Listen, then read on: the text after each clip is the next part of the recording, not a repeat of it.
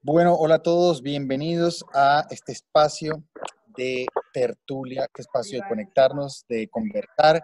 Hoy con un tema súper especial que tiene que ver con la desmitificación. ¿Qué es la desmitificación? Ya nos lo va a contar Joao Barón, quien hoy está acompañándonos y nos va a hablar acerca de esos, digamos, de una manera como eventos que damos por hecho o que son inusuales o que ya están como en la mente del colectivo de las personas como algo que es así, pero que posiblemente hayan otras respuestas que desconocíamos.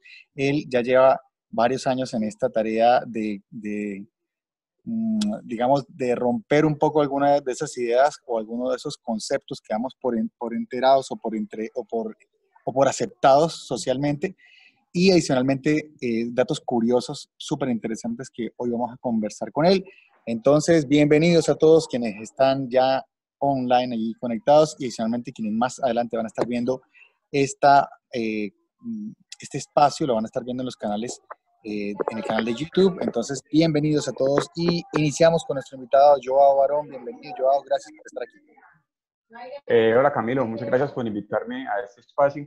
La verdad es la primera vez que, que sucede esto y que gracias a, al viernes de desmitificación me, me, invitan a hablar de eso, entonces me siento muy honrado, muy contento y, y bueno, no sé, eh, hablemos pues de eso. Bueno, yo antes que nada, ¿dónde, dónde estás ahorita ubicado?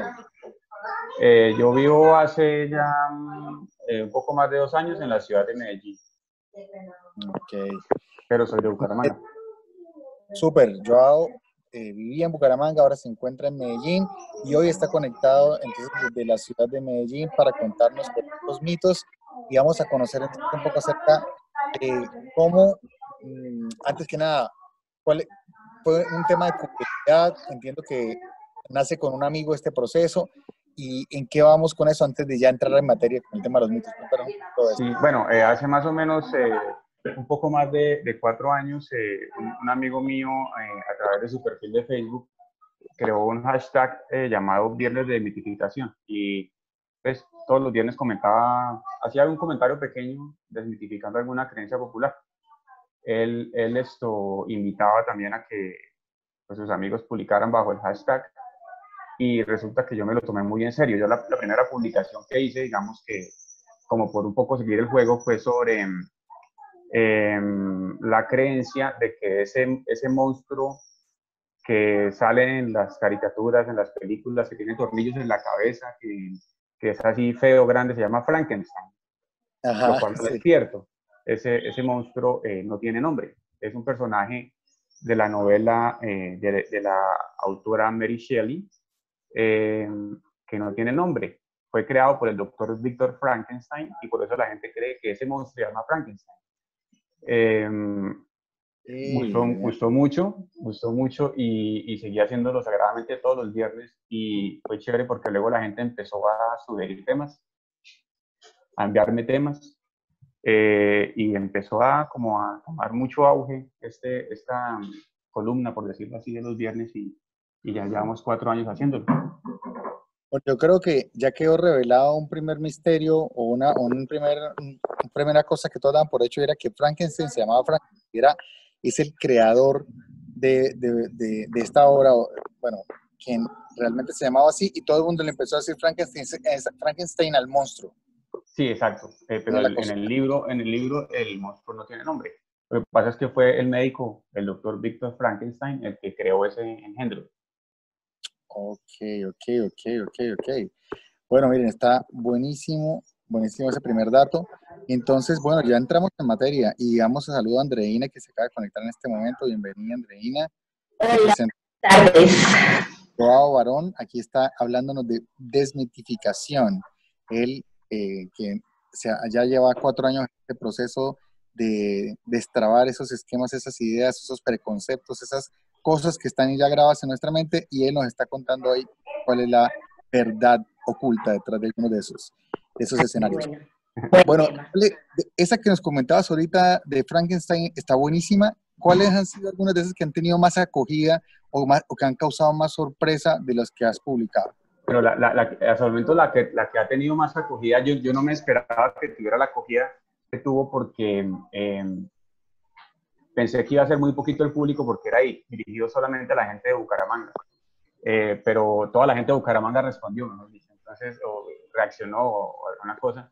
Entonces ha sido la más exitosa y es eh, eh, ¿dónde queda el barrio Ixabelar? ¿Ixabelar o Isabelar? Es Florida, ¿no? ¿Florida? No sé. Eh, pues la gente, bueno, la, la, verdad yo no sé si, si eso es Florida Blanca, pero Isabelar queda entre el barrio El Porvenir y el barrio Fabiconza. ¿Sí se ubica? eso es más Provenza, tal vez? Sí, la verdad no sé si eso es Florida Blanca. Eh, yo he escuchado que después del puente de Provenza, Florida Blanca, pero ahí no sé si será Bucaramanga o Florida Blanca. Pero es ahí como por el Rocío, Fabiconza, el Porvenir. Es un, es un barrio de una manzana o dos manzanas, es muy pequeño. Todo el mundo tenía que ver con la ruta de Isabelar porque es una ruta muy conocida en Bucaramanga y nadie tenía idea de dónde quedaba Isabelar. Nadie se ha hecho la pregunta.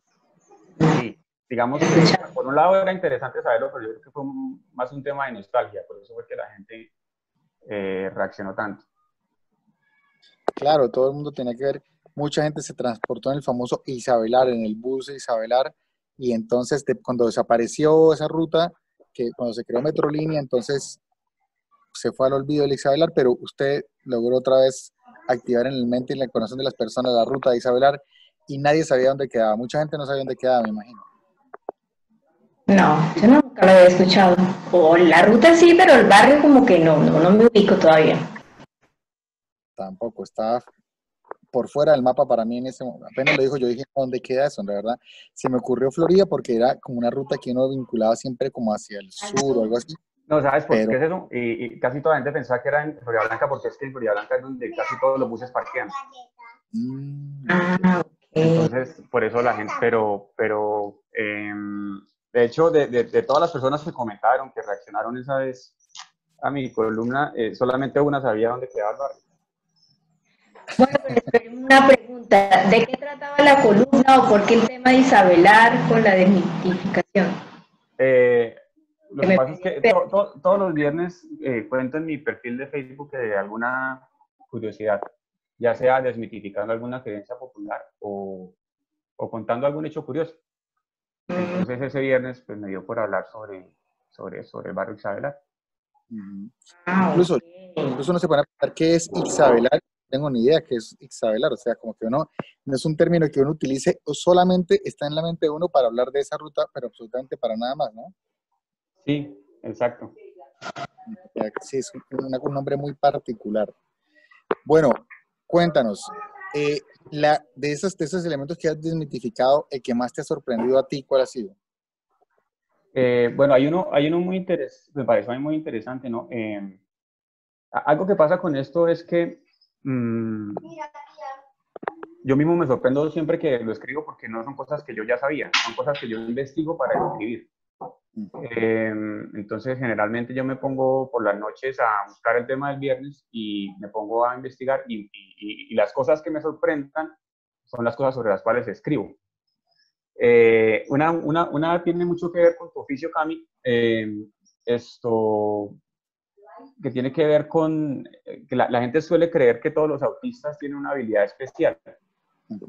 Eh, de hecho, tú trabajaste con niños autistas.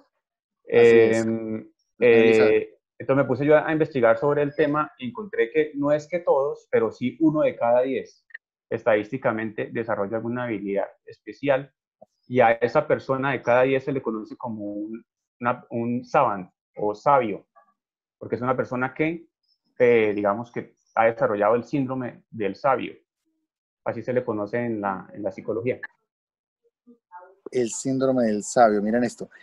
Claro, esto, hay, una, hay un efecto, mira, mira que tuviste con un dato que yo desconocía y es ese de uno de cada diez, ese, es, no, no, sabía que había una cifra específica para, para mencionar el número de personas que tienen esa habilidad excepcional eh, y, sí sé que surge porque el cerebro tiene un efecto de compensación eh, por medio de la plasticidad neuronal. Cuando hay una habilidad disminuida, una capacidad disminuida, otra parte del cerebro normalmente se potencia o asume eh, o se fortalece para poder compensar en, términos de poder responder al mundo. Y en este caso también pasa algo con, el caso de los, de los chicos autistas, y es que eh, hay una parte del cerebro que, de acuerdo a los estudios de neurológicos está vinculada a la amígdala cerebral y de la cual ya hemos hablado anteriormente que tiene que ver con emociones. Particularmente los, los autistas tienen una respuesta diferente de la, de la amígdala a nivel de, las, de esas emociones y, y ese efecto de potenciación hace que sean sensorialmente más sensibles. Entonces, por eso estamos frente a los ruidos fuertes, hay unos, hay unos que se hiperventilan o generan una, una respuesta fuerte eh, hay algunos que, por ejemplo, tienen una habilidad en la música y es porque interpretan la música sensorialmente de una manera mucho más poderosa o a nivel visual. Por ejemplo, ellos no tienen la capacidad de hacer contacto visual uno, no mirar a los ojos a alguien, porque también eso también tiene una, implicación emocional. Si uno se para frente a una persona que, que, conoce hace poco o que desconoce y se queda mirando a los ojos, hay como un tema ahí un poco complicado. Incluso cuando una persona es tímida, normalmente no hace contacto visual porque tiene una implicación emocional. Entonces, todo toda esa sensorialidad parece que los lleva a ellos a potenciar habilidades o capacidades. Pero miren, ese dato está súper, súper, súper, súper interesante. Es correcto. Y en, y en, otro, y en otro viernes eh, escribí sobre un savant que fue, que fue muy famoso. No famoso él, él, en su persona, sino por un personaje que se llevó al cine basado en él. Este señor se llamaba Kim Peek y sobre él se hizo una película que se llamaba Rainman era con Tom Cruise y con... Sí, correcto, y con eh, Dustin Hoffman. Em, estaba basada en Kim Kick, un savant eh, que desarrolló una memoria excepcional. Era capaz de, de retener el 98% de toda la información que leía. Se dice que leyó alrededor de 12.000 libros y todos los memorizó completamente, bueno, un 98%. Eh, él había memorizado la guía telefónica, eh, uno le pueda preguntar por una fecha cualquiera del año que uno quisiera y él decía qué día era, qué día fue esa fecha. Eh, pero él nunca supo para qué servía todo eso que sabía. De hecho, él siempre, el, papá lo tuvo que cuidar hasta que murió porque él no sabía hacer nada. O sea, tenía una gran cantidad de información en la cabeza, increíble, pero nunca supo para qué servía. En el mundo real no tenían una posibilidad de aplicarlo en algo, pero la capacidad de retención de información era superior a cualquier persona. Buenísimo eso, ¿ah? increíble, hubiera sido útil tener esas habilidades cuando estábamos en la universidad o en el colegio, ¿no? Tener la capacidad de retener todo lo que lee, que se le grabara ahí automáticamente. ¿Se imagina eso? Porque definitivamente uno no alcanza a memorizar y, y lo que también vas como depurando. A mí me parece que todos vamos como sacando información con el tiempo. Creo que hay una cosa así, a mí me pasa por lo menos como que hay que, o pierdo la no sé, una cosa de esas, pero, pero sí. Sí, el cerebro parece que va, eh, digamos, hay un que se llama poda neuronal, y es que la, información que no es útil para, ser, el ser humano, entonces de alguna manera va desconectando. La poda neuronal es que las dendritas se van desconectando en la medida que hay una habilidad, una capacidad, una función o una información que no necesita, entonces empieza a desconectar esa, eh, empieza a generar esa poda neuronal, las dendritas se desconectan de esas neuronas porque existen unos procesos de mielinización o unos procesos de información por, por las sinapsis eléctricas que viajan de una neurona a otra. Y de pronto, al ver que esa información o que ese gasto de energía no, no, no, se requiere, se va haciendo esa desconexión, esa poda neural para potenciar o para ir a, a, fortalecer la información o la capacidad que la persona sí necesita en ese momento. Por eso también es que dicen que todo lo que se aprende se puede desaprender el cerebro, el ser humano tiene esa capacidad y por eso es importante siempre estar eh, como en el proceso de recuperar información. Hay gente que se pone, digamos, las personas mayores le dicen haga crucigramas porque es una forma de rememorar o de traer a la mente cosas que de alguna manera se van perdiendo en la medida que no se entrenan o no se evocan. Y miren que acá también hay una cosa interesante con lo que hablamos de las emociones. Hay un efecto que se llama potenciación mnemónica o potenciación de la memoria y en la medida que hay más emoción hay mayor recordación.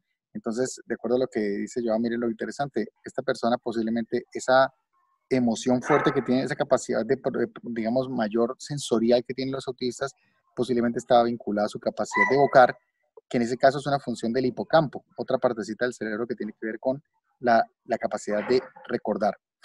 Muy bien, bueno, sigamos con otro mito. Yo quiero preguntarles a los que están ahorita conectados por acá, si tienen algún, algún mito o algo que de pronto en algún momento ustedes pensaran que era de esa manera y que de pronto de un momento a otro dijeran, oye, eso no, yo pensaba que eso era así, pero de un momento a otro porque alguien les contó, lo vieron en la película, lo vieron en las noticias, o por alguna otra razón finalmente descubrieron que estuvieron engañados toda su vida.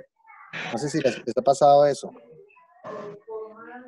Un mito puede ser como esos cuentos que le ponían a uno en la infancia, que la llorona, que la pata sola, estos cuentos de campo.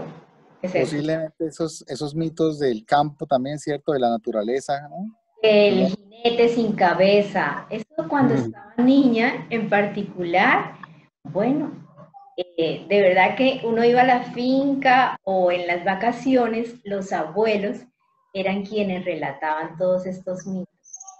Yo recuerdo muchísimo eso, pero claro, éramos niños, y ahorita yo no me creo ese cuento. de hecho, hubo una, una publicación que hice yo alguna vez que habla sobre eh, eh, las en, Bucaramanga hay algunas casas que, la casa tienen leyendas, que tienen leyendas de estar embrujadas. Ay, sí, sí, sí, he escuchado eso. Una, por ejemplo, es la que llaman la Casa del Diablo, que es una que queda en la carrera 39 con 44. Ajá. Y ahora es la casa de Don David, ¿no? Era la casa de Don David Puyana, ¿cómo no? Sí. David Puyana, claro. lo, que, lo, que lo que cuenta la leyenda es que em, pues estamos hablando de hace, bueno, no sé cuánto, pero yo creo por lo menos unos, unos, unos 80 años, eh, cuando don David, don David empezó a urbanizar eh, lo que hoy conocemos como cabecera, ¿no? Eh, y él, él cuentan que él tenía un, un, catalejo con el que él observaba de lejos a todos sus trabajadores, pero ellos no sabían que estaban siendo observados. Entonces, él, él sabían que andaba cada quien y no, lo, y no lo podían engañar. Entonces, lo que la gente se inventó era que él tenía un pacto con el diablo. Entonces, de ahí, de, ahí viene la, la, leyenda de la casa del diablo, era la casa donde vivía el Señor. Y por mucho tiempo, perdón, lo creímos porque la gente le daba que no pase por ahí, que esa casa está embrujada. Eso duró muchísimo tiempo. Sí, claro, que tenía una ventana que nunca le podían poner el, el, vidrio porque el marco se cambiaba de dimensiones. Y ah, pero esa es otra, Cami. Esa es la que queda en la 27 por el Parque de los Niños. ¿Dónde era ah. la, donde es la Manuela Beltrán ahora? Sí, la que tú hablas, esa se llama la casa Spadehorst, que fue construida por un alemán que llegó a Bucaramanga en 1920 y que él quiso construir una casa igual a una casa típica alemana. Esa es la que llamaban la, la casa de las 40 ventanas y que decían lo que tú dices del vidrio que no, que siempre se rompía y bueno, una cantidad de cuentos. Sí, o sea, ese es otro caso diferente, ese es el de esta casa, porque yo, yo he escuchado la historia que tú comentas de David Puyana, eh, pero era esa, ese tema, lo que comentas ahora, incluso creo que, no sé si fue que lo leí en, lo, en, en tu publicación, eh, o, lo, no sé por qué tengo este tema en la mente, y es que él miraba a sus trabajadores cuando estaban allí en la construcción, y luego le dijo, usted estuvo sentado, usted no trabajó, y pensaba en lo correcto, ¿no? Pero entonces, este de la ventana es el de la 27 diagonal al Parque de los Niños, esa casa que hicieron La que se llama la casa Stratehorst. Ah, ok, mire, otro dato interesante, no tenía idea de, por qué esa casa tan diferente, con ese diseño va, ¿no? Sí, claro, era, eh, buscaba, digamos, buscaba semejarse a un castillo alemán.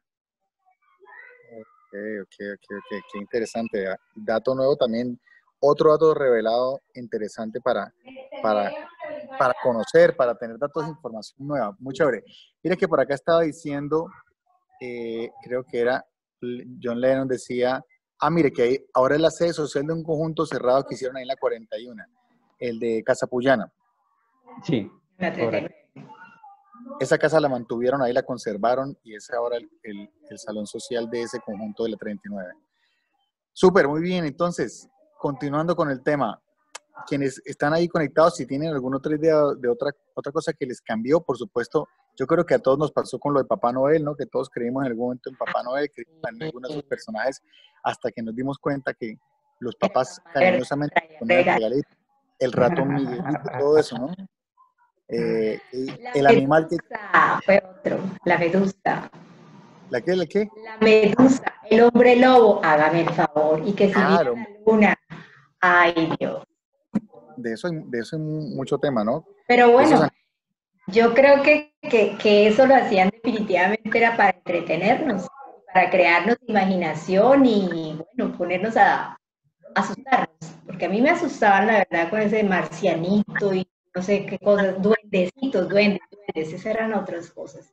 En el camino aparecían los duendes por la noche y bueno, eso era en esa época. Mira que ese es un tema interesante también. De eso, yo, por ejemplo, tienes algún personaje, por ejemplo, esto que está comentando Andreina, de algo que ha pasado con que la gente pensara que era un, no sé, un duende, un marciano, cosas así de ese estilo. O, por ejemplo, hay también una, una historia, hablando también del tema de los marcianos, de la zona, ¿cómo se llama eso? La zona, en, una zona que está vetada o vedada en Estados Unidos que la gente no puede pasar. El, ah, sí. Sí, pero no, sobre, sobre, eso no, no, eso es un buen tema. Yo, algo, un ejercicio que hago yo siempre es ir, anotando todo eso que, que la gente va, va diciendo y que, y que, que, es digno de, de, ir averiguando. Yo lo voy anotando en mi celular y voy a ir anotando eso porque la verdad nunca había pensado averiguar ese tema. Oiga, sí, ese tema de área, área, algo, área 59. De los alienígenas, en alguna época salió mucha información. Creo que era a raíz de una película que daban en ese entonces, algo de alienígenas. Pero mucho tiempo, no hablan de eso, pero, pero tuvo su época. Sí, no, no, pues digamos de, esa parte, lo que, lo que les contaba de monstruos y eso, pues eh, lo que, lo que he incluido hasta ahora ha sido lo del tema de Frankenstein y, y este tema de, de, las casas embrujadas de Bucaramanga. Pero hay, hay, muchos temas, por ejemplo, creencias de niños, creencias que uno, le, que uno tiene desde niño, pero, pero que no son ciertas. Por ejemplo, hay una, uno suele creer que el león es el rey de la selva, pero eso es imposible porque el león no vive en la selva, el león vive en la sabana. Entonces el león no puede ser rey de la selva. ok. Al respecto, que era porque el rey no hace sino comer y dormir, en cambio la leona sí es la que caza y la que hace todo el trabajo. O sea, ella es la verdadera reina. Y... Claro. El león no hace nada. Oye, pero ese dato está tremendo. No siempre es el rey de la selva. Y uno se pone a pensar, de verdad, si en la selva, en la selva hay leopardos, hay, hay tigres, hay otro tipo de... Jaguares. Jaguares, pero no hay leones. Eso es cierto. No, no, el león vive en la sabana. Oiga, buenísimo. Es como, por ejemplo, mucha gente se, se desilusionó porque iba a ver, el, hablaban del Rey León y en ninguna parte de la película salía leyendo, ¿cierto? Eso es otra cosa ahí que se... No, mentira, estoy molestando. ¿Cómo nos han engañado? Dios. bueno, mitos, mitos, mitos. ¿Qué otro mito interesante, así, esos llamativos, famosos, poderosos, nos tienes por ahí para contarnos yo eh, ¿Usted, les ha pasado que em, sacan agua del grifo y el agua sale blanca? Sí, pero eso es demasiado cloro, ¿no es? No, eh, no, no, el, cloro es incoloro. Eh, ah. Eso es aire. Era, lo que pasa es cuando en las tuberías queda atrapado aire y cuando uno abre la llave puede salir burbujas, micro burbujas de aire en el agua. Pero si tú dejas el agua que sale blanca, la dejas reposar un momento, se vuelve transparente porque ya esas burbujas salen al ambiente.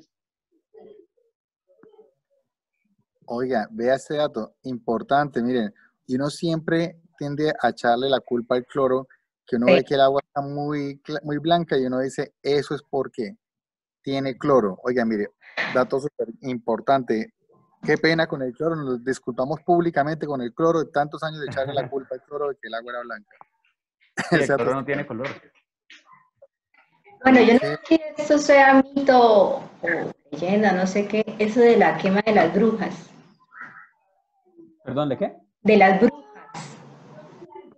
Que quemaban las brujas. Que quemaban las brujas, que las brujas se llevaban los niños. Hay mucho también, mucho tema ese de las brujas. Sí, ese es un tema, ese es un tema interesante sobre que algún día quiero escribir, pero necesito leer más.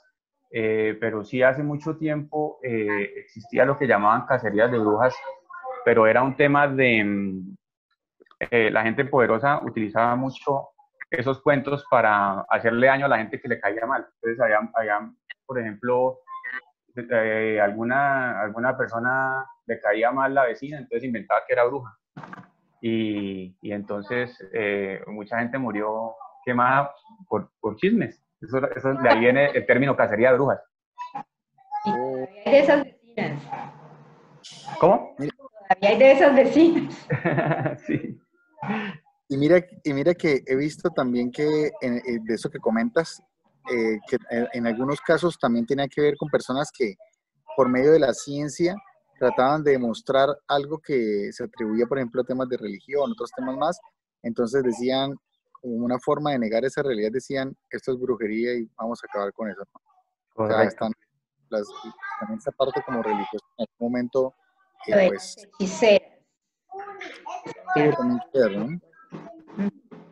Que va, les cuento, otro, otro, otro que, me, que me gustó mucho, algunas veces que uno, uno suele mucho cuando va a la costa, cuando va por allá a la Guajira, uno eh, suele hablar de los turcos. Sí, sí, han visto que uno, sobre todo la gente que es comerciante, que dice que son, que son turcos. Claro. Eso, a ver, ¿de dónde viene eso? En realidad, en realidad estas personas son descendientes de libaneses, de árabes o de sirios, pero nunca de turcos. ¿Por qué se les dice turcos? Eh, lo que pasa es que eh, esas personas venían a Colombia procedentes de, de países que habían sido invadidos por turcos, por el Imperio Otomano. Entonces, su pasaporte era turco, era, expedido en Turquía. Entonces llegaron a Colombia y se les empezó a llamar turcos, pero en realidad ninguno es turco. O sea, digamos, el que vende perfumes en Maicao, eh, el dueño del almacén en Lorica, eh, ellos no son turcos, son libaneses, o, o, hijos, mejor dicho, de libaneses, de sirios, de árabes, pero nunca de turcos. Mire, y sí pasa bastante, sobre todo que cuando uno piensa en Barranquilla o piensa en La Guajira, inmediatamente, y que está pensando en ese tema de ir de compras, normalmente uno decía, oiga, sí vamos a donde los turcos, eso es totalmente cierto, ¿no? Ya se creó esa, ese tema que, que quizás sea por repetición que llega a la mente de las personas. ¿Cómo se crean esos mitos? ¿Por qué la gente masivamente empieza a creer en esas cosas? ¿Qué será lo que ocurre? ¿Por qué se vuelve como el consciente colectivo, porque todo el mundo empieza a, a, pensar de esa misma manera, cuando, será porque se repite muchas veces una verdad hasta que se vuelve, o una realidad, o se repite muchas veces un tema hasta que se vuelve una verdad, supongo, ¿no?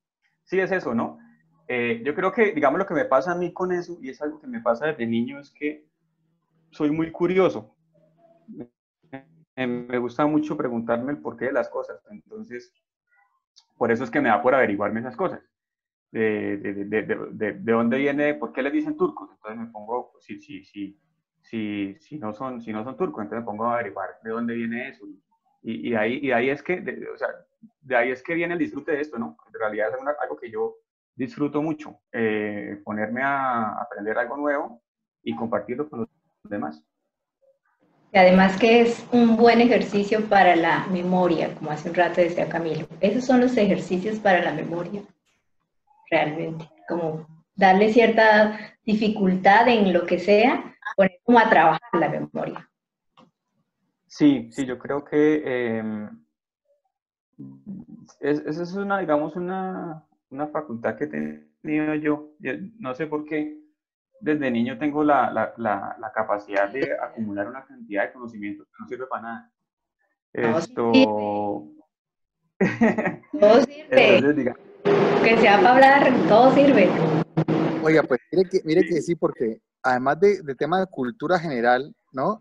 Y, y, Joao tiene esa particularidad, ¿no? Que es una persona con ese tema, con ese nivel de, de, cultura que habla de cualquier tema. Hay otra cosa importante y es que miren cómo esa curiosidad lleva a las personas también a hacer cosas, a descubrir, descubrir cosas diferentes. Joao eh, tiene un, ganó un premio, y ahora es ingeniero ambiental, eh, y ganó un premio, un reconocimiento por un tema de impacto ambiental y creo que tiene mucho que ver también pues ese espíritu investigador también aplicado también en la ciencia, ¿no? Eh, sí, eh, em, bueno, lo que pasa es que yo creo que esto, de la, esto de la curiosidad fue algo que yo le, le heredé a mi papá. ese proyecto del que habla Camilo fue un proyecto desarrollado por mi papá y en el que trabajamos mi hermano, mi papá y yo que consistía, consistió en el diseño de una planta para, para el tratamiento de residuos sólidos urbanos. Y mm, tuvimos la fortuna de que ganamos el, el, premio al emprendimiento otorgado por Ecopetrol en el año 2016. Buenísimo, ¿ah?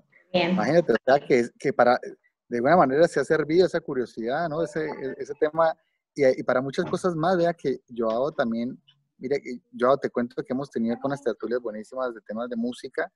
Joao también eh, es un apasionado por el tema de la música, toca piano, canta, está en la coral polifónica, de, de, hecho toca también guitarra, bueno, o sea que este tema de la curiosidad también se dio por la música. Sí, con, con Camilo nos conocimos fue eh, precisamente haciendo música, ¿no? Eh, nos conocimos en el, en el coro de, de, la, de, la, de la UPB.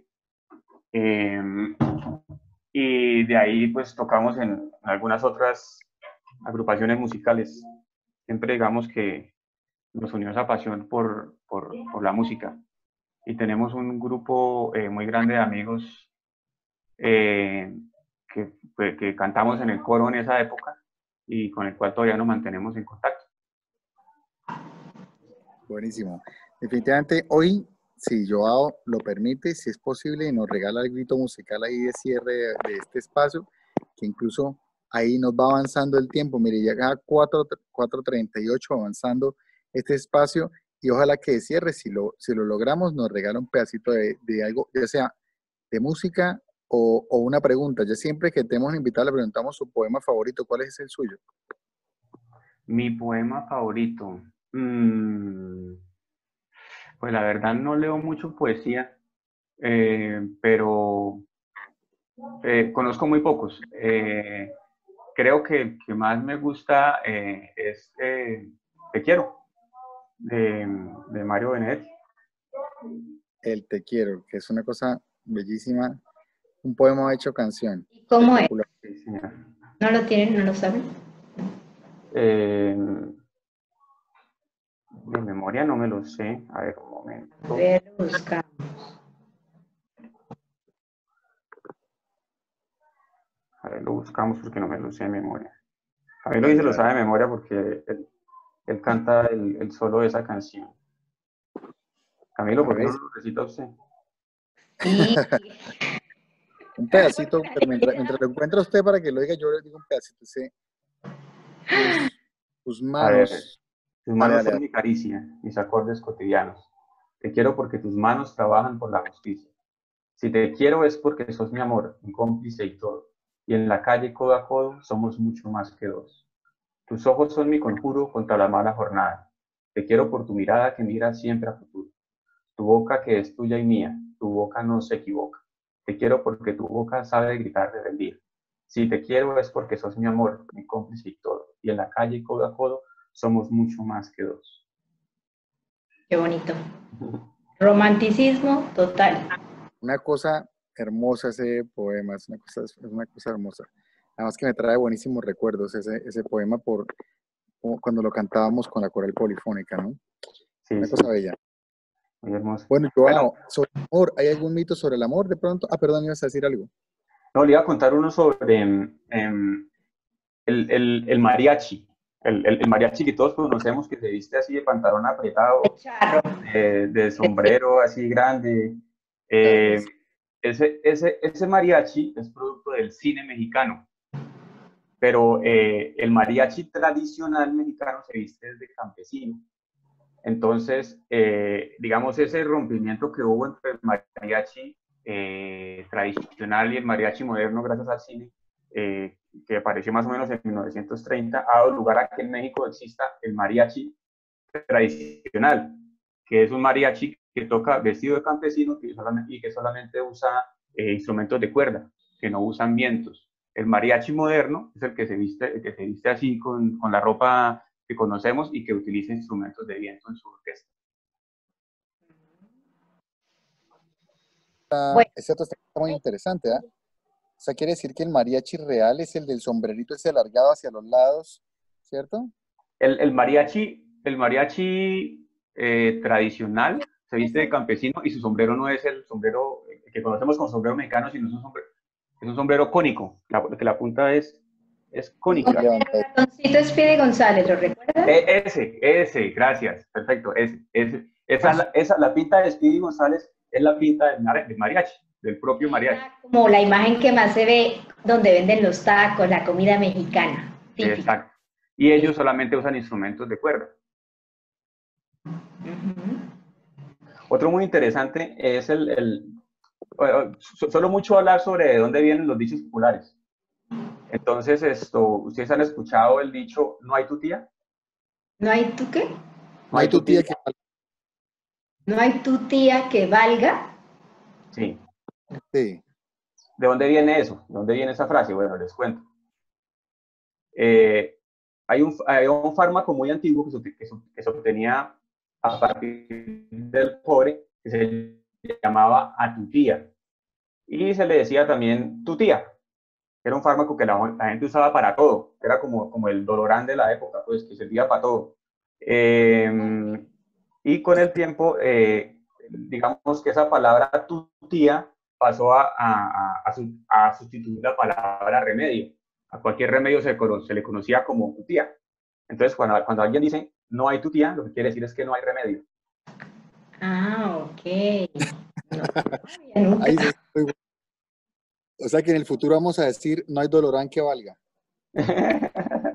sí, algo así. Porque yo, yo pensaba, ¿Por qué? Porque, ¿qué pasa? Que yo escuchaba que la gente decía eso y yo decía, pero ¿cómo así que? Pues yo pensaba que hablaban de la tía, sí, una, de la hermana de mi mamá, pues, y yo como, ¿cómo así que tu tía? ¿Cómo así que es tu tía? ¿Eso qué es? Y no, entonces me di cuenta que tu tía era un remedio.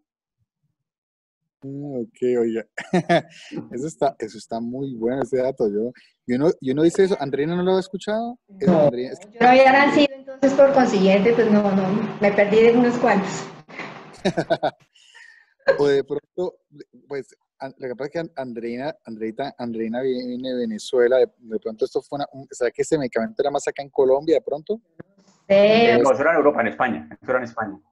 Ah, hablando de hace, yo no sé hace cuánto, pero hace 200, 300 años. En el mundo, en todo el mundo, todas las partes del mundo tienen sus mitos, todos. Sí, correcto. Yo una pregunta, Joao, acerca de los mitos urbanos. No sé, de lo que se habla Bueno, hay un, hay un mito urbano muy famoso que, que, la gente suele contar mucho que, que, que, alguien alguna vez lo, en un bar lo abordaron, lo, lo durmieron, lo llevaron a, luego para un cuarto de hotel y esa persona se despertó entre una bañera llena de hielo y con una incisión en la espalda y luego se dio cuenta de que le faltaba un riñón. ¿Sí lo han escuchado? Uy, no. Incluso vi una pega de eso unos amigos se hicieron una broma con eso y un amigo se emborrachó, se lo llevaron a un hotel, le pusieron todo eso, cuando él se despertó, le hicieron esa, esa broma, eso lo vi por, esas bromas que hacen y que las transmiten por internet me pareció pesadísimo. Pesado de, de, muerte, o sea. la, verdad es que eso nunca, eso nunca ha ocurrido, eso jamás ha pasado, no existe ningún registro eh, médico de que a alguien le haya pasado eso, aparte porque un trasplante en esas condiciones no se puede hacer, no es posible el órgano, deja de servir. O sea, para que una persona le saquen un órgano y ese órgano sirva, tiene que ser en unas condiciones eh, de asepsia y en unas condiciones eh, muy especiales. Prácticamente que eso solamente se puede hacer en una sala de, de quirófano. Luego, esa leyenda urbana nunca ha sucedido y no es posible. Pero que suena terrible, suena terrible. Sí, claro, suena terrible, pero eso nunca ha pasado. Es como, por ejemplo, algo de lo que hablan y que tampoco ha pasado nunca, es la combustión espontánea, que hablan de que una persona de pronto, uy, ardió, de pronto la persona empezó a echar candela y, se murió. Eso es algo que nunca ha pasado, jamás ha pasado. Mm. Bueno, y esto que dicen, por ejemplo, que qué tan cierto será el tema, o sea, bueno, qué persona, eso sí es un tema de seguridad, ¿no? Que dicen que pues eh, en las estaciones el tema del uso del celular. Hay gente que dice, ah, eso es un mito, eso se puede utilizar el celular porque ¿qué va a pasar? Que tiene que ver que no hable con el celular a que, a que hay un accidente, pero, pero realmente... eso, eh, sobre eso, eso, es muy interesante y sobre eso no he escrito porque, ¿qué sucede? Que yo no escribo un tema hasta que no esté completamente seguro de lo que voy a escribir. Entonces, sobre ese tema del celular, encuentro muchas versiones que dicen que no es peligroso. Eh, y encuentro otras que dicen que sí. Eh, entonces no he podido llegar al fondo del asunto para poder escribirlo con seguridad. Eh, mire que incluso pueden haber algunas cosas, pues ya saliéndome del tema del celular en la estación, pero sí cosas que de pronto también han hecho la, no, sabemos si son ciertas o, era, o, son o son cosas creadas por las mamás para que la gente no haga cosas. Por ejemplo, No se puede meter a la piscina, recién almorzó. Cosas así. Sí, no, ese, ese, no, no puede correr. Seguramente no, ¿cierto? Sí, Ay, ellas también decían que si come después de bañarse, que se muere, que si se comen las uñas se vuelven ciegos. Eso ya son las bañas de Que las mamás. come- que si se come pegan a uno. Eso, ese, ese ¿Cómo, es es? tripas. Que si se come chicle se le, se le, se le pegan las tripas. Sí, eso, eso no, eso no es cierto, eso el, el chicle sale. Eso lo. Es una manipulación que solo las mamás tienen el punto. ¿Cómo, cómo? Oiga, la son responsables de muchos de esos mitos, definitivamente. En la cual las mamás son unas expertas. Sí, sí, sí. Oiga, sería interesante hacer una cosa de mitos con alimentos, ¿no? Por ejemplo, todo eso, de que el bombombón se le pega a las tripas y... No, ahora con el tema, perdón, con el tema ese de tantos modelos de alimentación, que el vegano, que el ovo no sé qué, el vegetariano, bueno, hay mil, mil tendencias, mil modas, y en otros estudios dicen que no, que es una mentira, que eso no es sustentable, que ninguna verdura, si sea verdura, sea fruta, no se puede solamente un solo grupo de alimentos, en fin.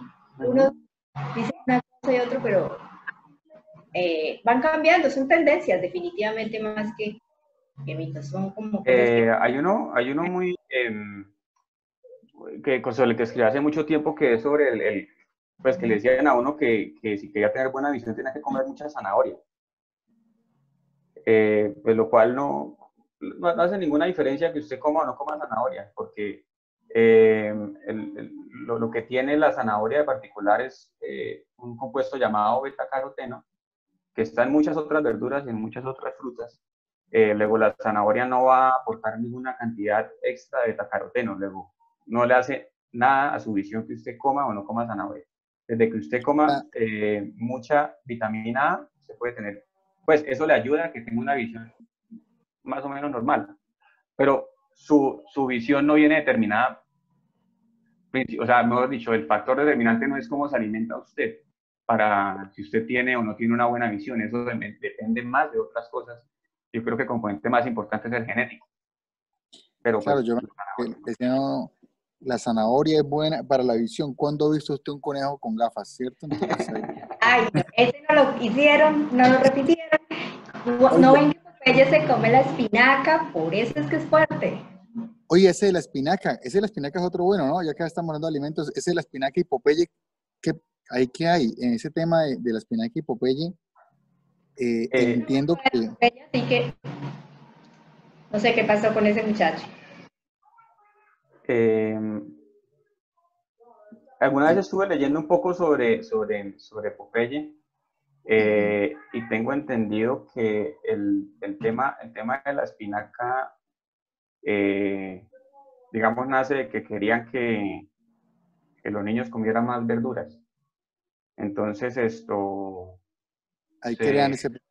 se inventaron pues el tema ese de que la superfuerza de Popeye venía de la espinaca y era para incentivar el, el- el consumo de verduras en los niños en, en Estados Unidos. Ok, ok, ok, miren eso.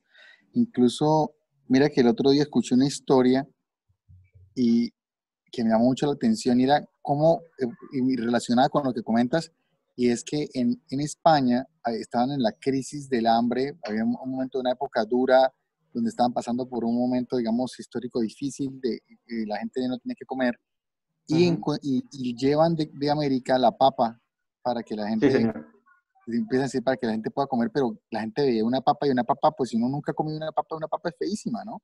Una Ujú. cosa ahí marrón con tierra y uno la mira, pues no, no tiene ningún atractivo. Y querían promover el tema de la papa y vi que, entendí- entiendo la historia, es que para introducir ese alimento, dijeron que era el alimento del rey y en un lote sembraron la papa, sembraron la papa y decían que nadie podía pasar ese lote y lo tenían custodiado con soldados y demás. Decían porque ahí se cultivaba el, el alimento del rey hasta que un día, o sea, era la forma para generar ese imaginario como ese deseo, hasta que un día liberan el lote, entonces claro, la gente se lanza, varias personas se lanzaron cuando vieron que no estaba custodiado, se lanzaron a coger las matas y demás, y a llevárselas, a decir que qué era lo que comía el rey, y ahí dicen que es donde empieza a proliferar el tema del consumo de la papa en Europa, que era un alimento que llevaban de América. Esa es la historia que pero la, la papa salvó, la, la, papa ahora es, digamos, mundialmente consumida porque salvó a Europa en una hambruna.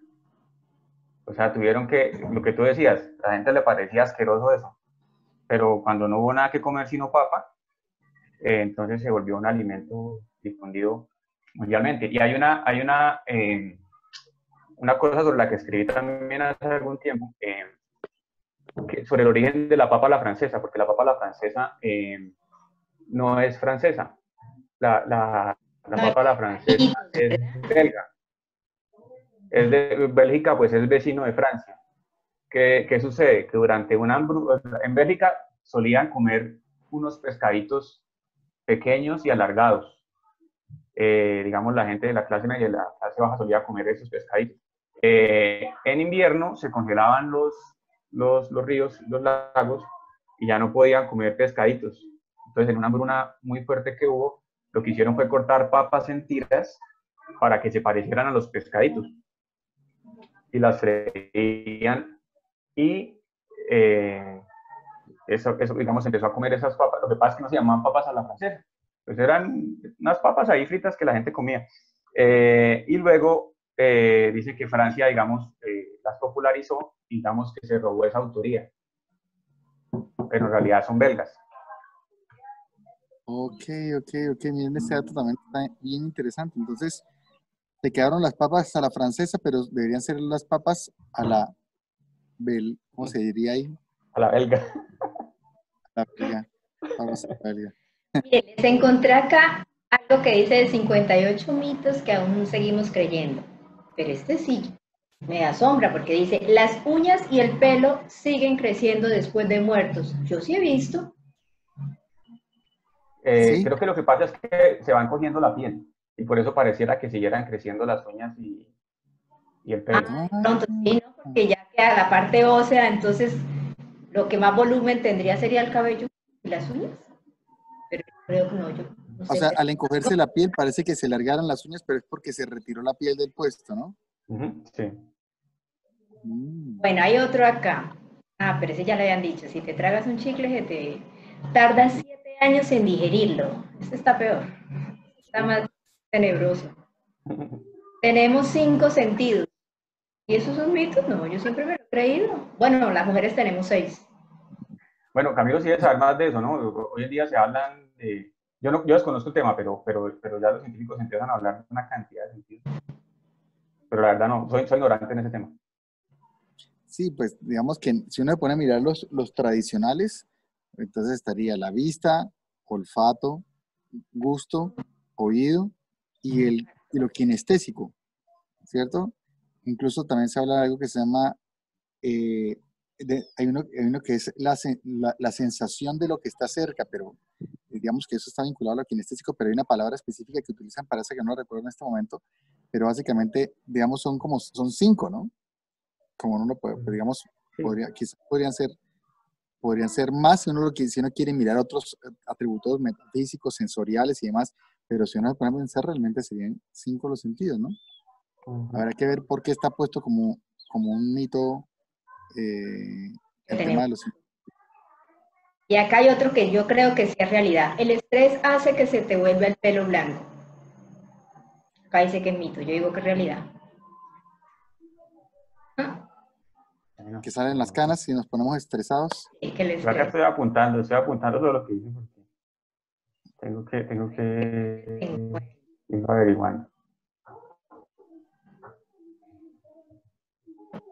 Ah, los perros sudan salivando.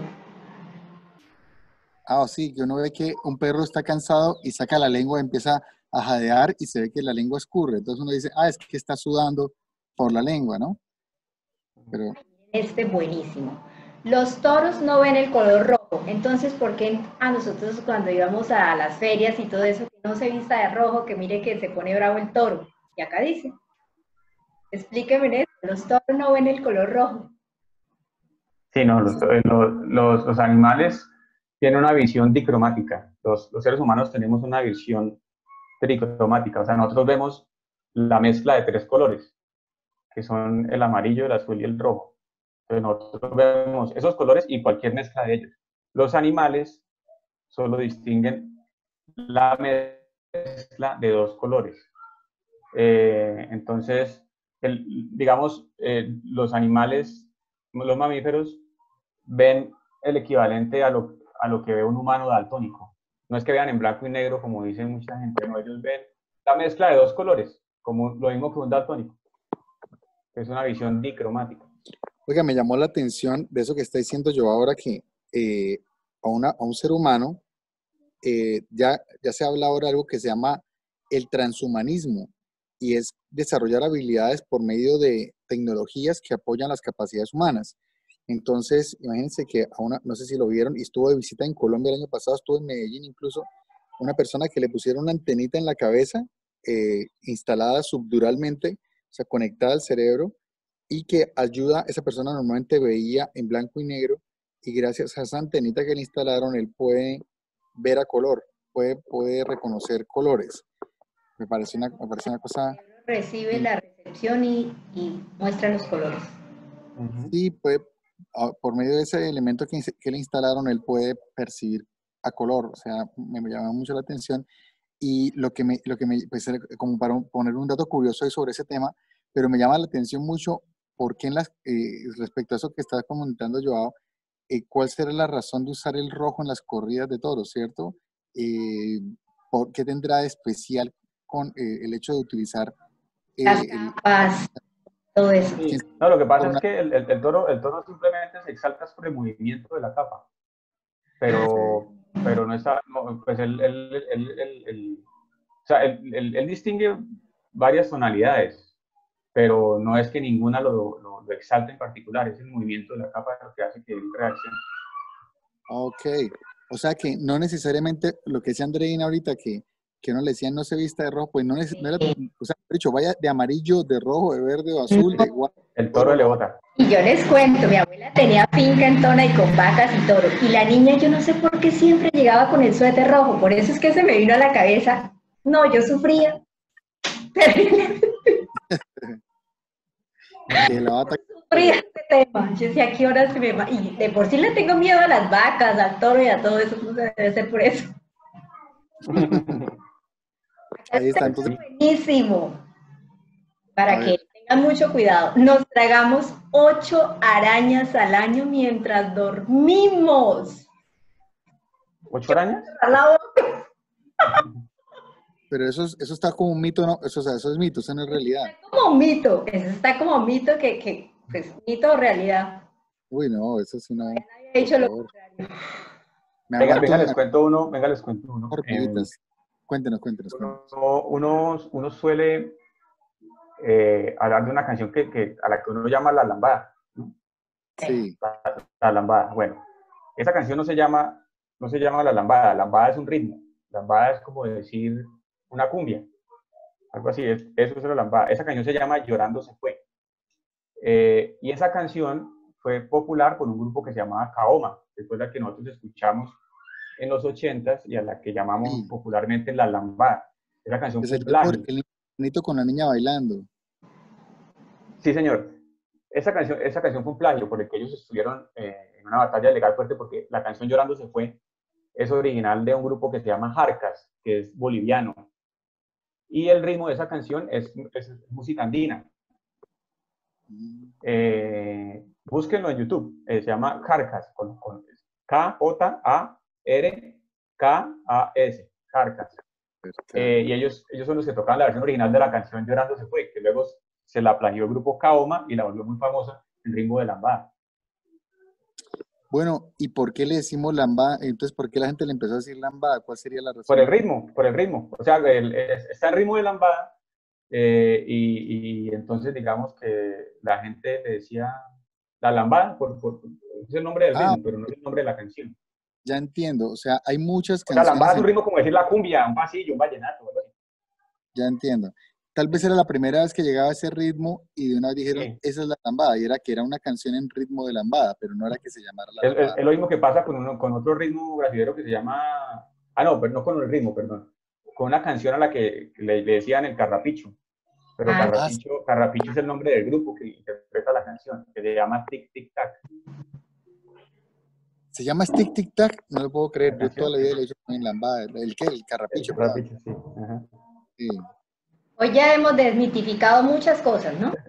No, Nos abrió los ojos Joao. No voy a, oiga, sí, lo deja uno pensativo. dicen que la realidad es inventada, lo dice un sociólogo chileno apellido Maturana, dice, la realidad es inventada, definitivamente. De pronto, efectivamente somos producto de tantas veces que nos han repetido una realidad y por eso es que a veces existen tantas diferencias porque hay personas que les han repetido una realidad, a otras que les han repetido otra realidad de que estamos pequeños y entonces asumimos que todo el mundo ve la misma realidad, pero realmente estamos viendo diferentes realidades de acuerdo a la, óptica de, esa persona, ¿no? Entonces, por eso a veces existen tantas diferencias y definitivamente tenemos es que empezar a, a entender eso, ¿no? Que, que existen muchas formas de ver un mismo fenómeno y, y, formas como nos han contado la historia de un fenómeno, ¿no? Y, y, ahí vamos construyendo la realidad, ¿no?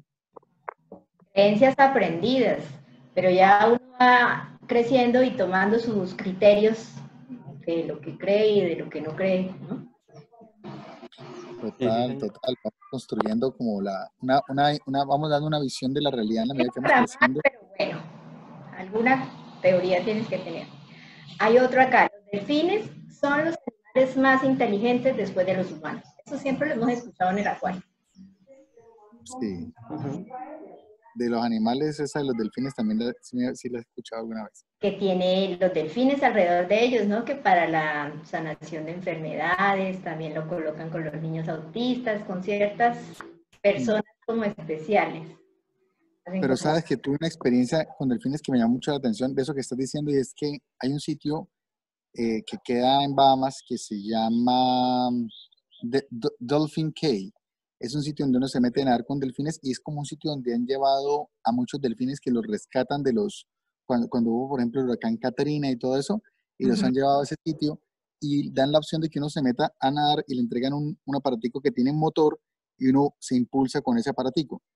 Me acuerdo que me metí, cuando me metí a hacer ese ejercicio, eh, veía que los delfines se acercaban, pero se mantenían a cierta distancia y ellos y se iban aproximando despacio, pero me dio mucha impresión cuando estuvo cerca y verlo bajo el agua, pues con la careta puesta, ver al delfín cerca y tener esa, esa sensación de la mirada, era como esa mirada no de, hay animales que uno ve y no le transmite algo particular a la mirada, como que no le transmite una emoción, en el caso del delfín sí era como esa sensación de proximidad o esa mirada como de transmitiendo algo. Y lo curioso era que se acercaba hasta que llegó un momento donde me toca con el cuerpo, ¿sí? Él pasaba así cerca, me toca con el cuerpo y yo trato de tocarle el fin, finalmente como que hubo una sensación ahí cercan, de cercanía y ya después de que él notó que yo no era una amenaza, en, eh, ya pues digamos que se mantenía más cerca. Pero me llama mucho la atención eso porque sí, en la mirada uno sí percibe como si hubiera algo de inteligencia ahí, y pues uno ve todos los trucos y cosas que pueden hacer los delfines y uno dice, ah, pues eso es un condicionamiento eh, tradicional a un animal, pero yo sí siento que hay, hay, hay, animales que van mucho más allá del condicionamiento y muchos animales sí, digamos que tienen como una, una lógica o una, bueno, digamos, en una escala animal, pero tienen una, un racio, pues uno podría, se podría decirlo como un raciocinio, pero sí una lógica. que, que personas que dicen los animales no piensan, yo siento que en alguna medida sí, a su nivel, pero sí hay hay pensamiento ahí o hay algún tipo de inteligencia. Una conexión. Y cuando, y cuando hiciste eso de nadar con delfines, em, ¿ya, ¿ya había nacido alguno de tus hijos? No, en ese momento todavía no, tenía, no ah. estaba ni Matías ni Martín, no. Ah, no. Pues para preguntarte si ellos también habían ido, pues. Con los niños que llevarlos. Especial. Súper bonita esa experiencia. Y, con los niños de, claro, tengo el sueño de que vayan ellos a hacer esa experiencia porque es una una, cosa muy bonita eso de nadar con delfines, es una experiencia súper bonita, una, cosa muy hermosa. Bueno, Joao, te hago una invitación. Nos lanzas un mito eh, así para cerrar sesión. Si te animas al tema de la cantada para cerrar con música el espacio, ¿qué dices? ¿O cómo, cómo ves ese cierre? ¿Qué, nos propones? Eh, bueno, vamos a acomodar porque, como te estaba contando, qué días preciso en medio acá de la cuarentena se me rompió una cuerda de la guitarra. Entonces no sé, vamos a ver cómo suena. Eh, bueno, em, el, mito para, para, despedirnos, em, eh, digamos, tiene también una, connotación un poco social. Em, la gente suele pensar que por tener tatuajes no se puede donar sangre. Oh, Eso no es cierto. Lo, lo, que recomienda la Cruz Roja es esperar 12 meses antes de donar para descartar que se haya contraído alguna enfermedad, pero después se puede donar sangre perfectamente. O sea, un año después de que le hagan el tatuaje, la persona puede ir a donar sangre y no hay ningún problema, se la recibe. Ok.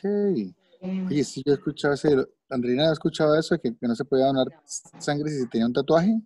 No, no, no lo sabía. Bueno, entonces ahí está. El, el tema es porque hay la opción de que cuando alguien se hace un tatuaje se pueda contagiar claro, como se utilizan esas agujas y demás, ¿no? Entonces da el temor de que pueda haber contraído una enfermedad y por eso lo recomiendan, pero no sabía que, pensé que era de manera permanente, pero mira eso, es un año. Una persona tatuada ya puede volver a donar. Sí. Súper, súper, súper ese dato, está buenísimo. Bueno, entonces pasamos a la música. Yo, ¿qué dices? A ver, vamos a ver qué se puede hacer con esta guitarra sin una cuerda. A ver, un momentico. Uy, no, y, y, sí que entiendo, Joao, con eso porque tocar la guitarra sin una cuerda, eso es tremendo. Y a veces que yo sufro especialmente si le falta o la primera o la sexta. Esas dos son. Pero a este le falta la, este le falta la primera. La primera, uy, sí, a veces uno va a tocar y ese sonidito que da, la, el sonido agudo que da la primera, eso es, Y en cuarentena y uno sin cuerdas, no, eso sí es duro. que la, la, la, tenían una, toca afinar que la tenían, la tenían una afinación, una afinación que no es estándar Ah, no, creo que ya la... No, ya, ya, ya, la tengo ahí. A ver, a ver qué sale. Bueno, suena buenísima esa guitarra. ¿Ya? ¿Sí me oyen? Sí, perfecto. A ver, vamos a ver.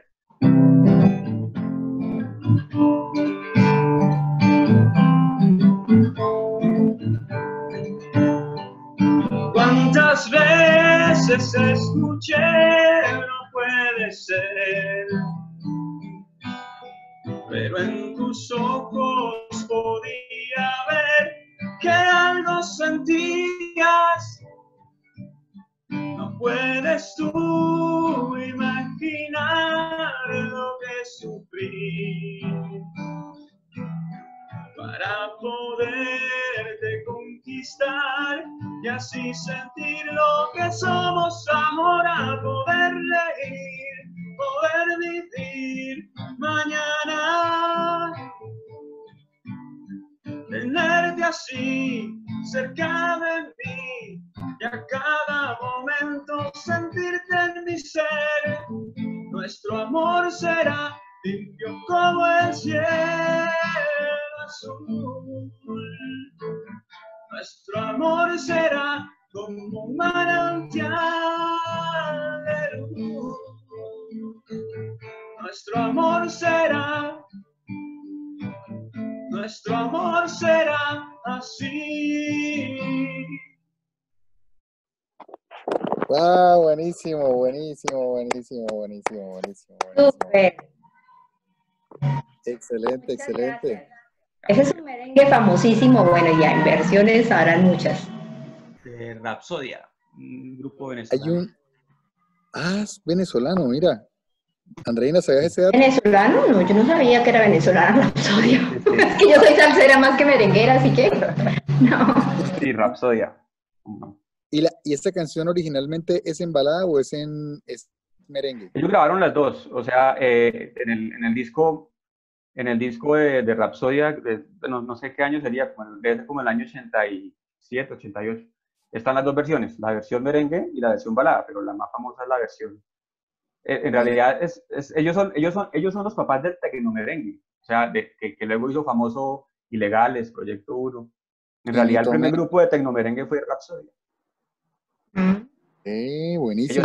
ellos eran, ellos eran una banda de rock eh, que luego empezaron a tocar ritmos tropicales como para, para volverse más comerciales, eh, y, y, entonces eh, nació el merengue con ellos.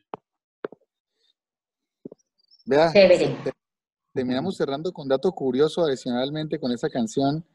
Y dice el mito que si usted bailó pegado a esa canción, conquistó esa noche que, que, bailó esa canción cantada al oído. Si, si, nuestro amor será, esa canción pegó ese, ese día. Eso es ese mito, ¿o no? Por eso era que se amenizaban las fiestas. Uy, sí, esa canción era, era buenísima, que sonara esa canción, la que la gente parara a bailar era buenísima. Oiga, qué chévere, Joao, buenísima esa canción. Eh, creo que nos deja hoy con muchas cosas ahí en mente para, para, me dicho, ahora yo siento que cualquier cosa que estoy mirando a mi alrededor puede ser susceptible de, generar duda de su origen o existencia. Está buenísimo. ¿Y usted no tiene por ahí la guitarra, Camilo, para que se cante una? Yo tengo la guitarra, Bien. ¿Será que nos cantamos una de esas? ¡Claro! Nos echamos ahí. A ver, vamos a intentar echarnos una cancioncita. A ver, Joao, ¿qué género, qué género se le ocurre? ¿Qué canción? A ver, ¿qué, no, no, usted, sí, usted sí toca, suena muy bien la música tropical, ¿no? A ver, vamos a ver. Cantémonos de pronto algo así alegre. Ah, ya sé, vamos a cantarnos algo. Algo por aquí medio cubanito, ¿será? Ay, ay, ay. Es algo de Carlos Vives, usted que sale muy bien. Algo de Carlos Vives, buenísimo, sí, chévere. Ay, gracias. Se te cayó en la mesa. Ay, qué amable, gracias. Aquí llegó Matías a saludar. Matías está siempre ahí atento. El asistente. ah, no, Matías está ahí. A ver, sí, saluda ahí, hola. Hola. Hola, Matías. Ahí está Matías. Estoy montando bicicleta. Está montando Lo vemos. Buenísimo. Siempre pasa un ratico a saludar, siempre pasa un ratico a saludar. A ver, vamos a ver esto. Oye, Joao, y sobre temas de, instrumentos, ¿hay algún tema de mito? Porque con esto de la guitarra. Eh, sí, por ahí uno, eh, la gente suele, la gente suele llamarle em, marimba a, un instrumento que en realidad se llama metalófono. El del eh, Pacífico la, la, marimba, para, para, para, que sea marimba, tiene que ser de madera. Es la del Pacífico, la del folclore pacífico. Exactamente. El xilófono o la marimba son de madera. Pero si, si, el, si las, no sé cómo se llama eso, si las piezas son de metal, es un metalófono, un metalófono. Por ejemplo, la lira es un tipo de metalófono. El, que, uno le regala a los niños. El que todos tuvimos, ¿cierto? De color. Se llama, se llama glockenspiel, pero no se llama marimba para que sea marimba tiene que ser de madera.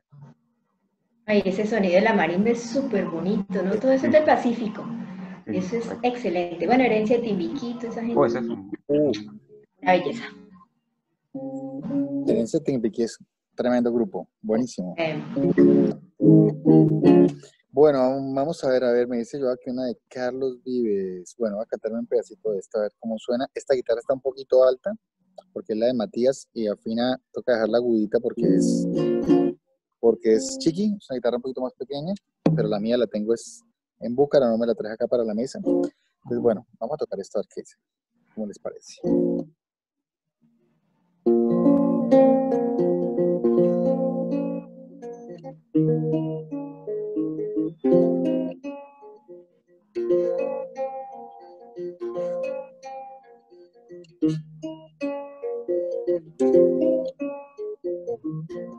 Ese beso de tu boca que me sabe se metió entre mis labios, se metió en mi cabeza. Ese beso donde siento cuando las penas me acechan, que me lleva al mismo cielo, que la tierra me regresa, que reza, reza, que reza, y aunque ya no tenga duda, el recuerdo de tus besos me lleva hasta la locura. Sí, sí, sí. Este amor es tan profundo que tú eres mi consentida y que lo sepa todo el mundo. Sí, sí, sí. Este amor es tan profundo que tú eres mi consentida y que lo sepa todo el mundo. Que tú eres mi consentida, la niñita de mis ojos, la que se la que calma mi santo.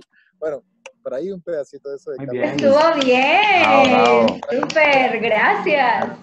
Súper chévere. Bueno, pues ahí cerramos con Carlos Vives, con, con Merenguito de, de, de este grupo. ¿cómo se Rapsodia.